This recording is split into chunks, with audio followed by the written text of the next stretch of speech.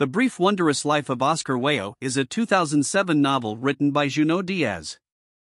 The novel is set in New Jersey and the Dominican Republic and tells the story of Oscar de Leon, a first generation Dominican American who is struggling to find his place in the world.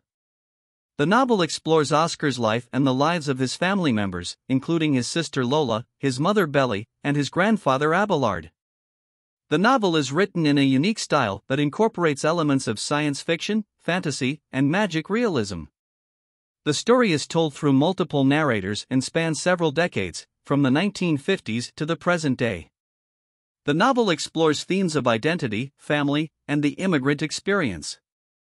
Oscar is a complex and relatable character who struggles with his identity as a first generation American and a nerd, and his desire to be loved and understood. The novel also examines the impact of the Trujillo dictatorship on the lives of the characters, and how it shapes their experiences in America and the Dominican Republic. The Brief Wondrous Life of Oscar Wao received widespread critical acclaim and won the 2008 Pulitzer Prize for Fiction. It is widely considered to be a modern classic and a masterful exploration of the immigrant experience, the search for identity, and the complexities of the human experience. The novel is known for its unique narrative style, its richly drawn characters, and its ability to convey the humor, tragedy, and the complexities of the human experience.